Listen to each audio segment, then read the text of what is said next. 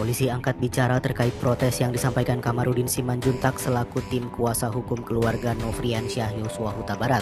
Kamarudin mengklaim tidak diperbolehkan mengikuti proses rekonstruksi pada Selasa 30 Agustus 2022. Ini bagi kami ini suatu pelanggaran hukum yang sangat berat. Tidak ada makna daripada equality di Pordelo itu. Jadi entah apa yang mereka lakukan di dalam kami juga tidak tahu. Jadi daripada kami hanya duduk-duduk saja tidak ada gunanya, mending kami pulang. Di Humas Polri, Irjen Didi Prasetyo menyebut kuasa hukum keluarga Brigadir J tidak diundang mengikuti proses rekonstruksi. Didi juga menyebut yang harus hadir dalam proses rekonstruksi adalah tersangka dan kuasa hukumnya, juga para saksi yang ada di tempat kejadian.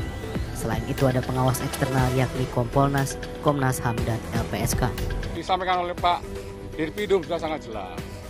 Ya rekonstruksi ini untuk membuat terang menerang suatu peristiwa pidana oleh karena yang diundang, yang dihadirkan siapa? Adalah lima tersangka dan para saksi yang terlibat langsung dalam satu peristiwa. Kemudian ada pengacaranya, kemudian ada dari jaksa penuntut umum, pengawas eksternal semuanya lengkap hadir.